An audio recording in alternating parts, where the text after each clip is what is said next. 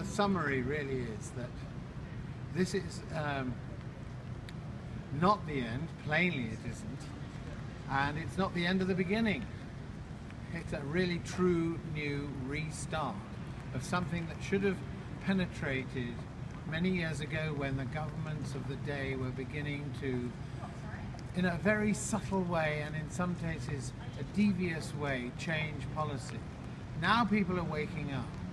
and I think it's at the point of this Reveille where people are called to arms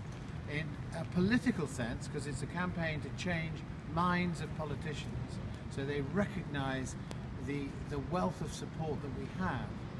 But in addition to that, one other message is if they don't change their minds, we don't want to have to go to court, but we will go to court in order to ensure that justice is done.